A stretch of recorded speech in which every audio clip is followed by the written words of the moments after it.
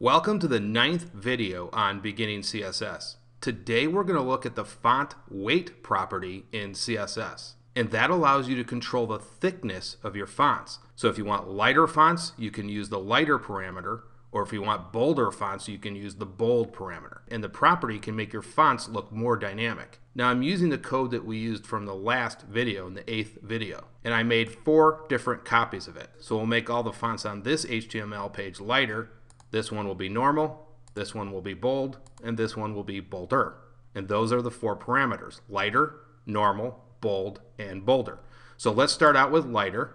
And what I did was I added the parameter right here. So it's font hyphen weight, and then you just put in lighter. Now if we wanted it to be normal, we would put normal here, bold, and the final one, which is bolder. Now I've added normal, obviously, to this one, bold to this one, and bolder to this one. So we don't need to look at those. But what I wanted to be able to do was open each one of these HTML pages at the same time so you could see the difference in weight. Now we're going to add this to the body selector and that rule will apply to our entire HTML body element. So all of the fonts in here will be affected. And again, that's through inheritance, something we've been talking about throughout the series. So let's go ahead and close that. And then I'll just show you this really quickly. You can see here we've got the normal parameter. And in this one, we've got bold.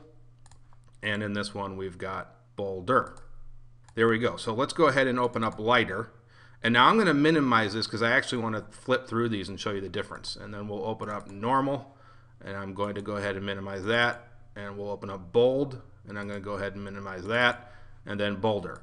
And now I'm going to flip through these because it's easier to see the difference. So if we open up light, and so that's the lightest font weight. And then now take a look at the difference here. You can see how it got a little bit more bolder with the normal weight.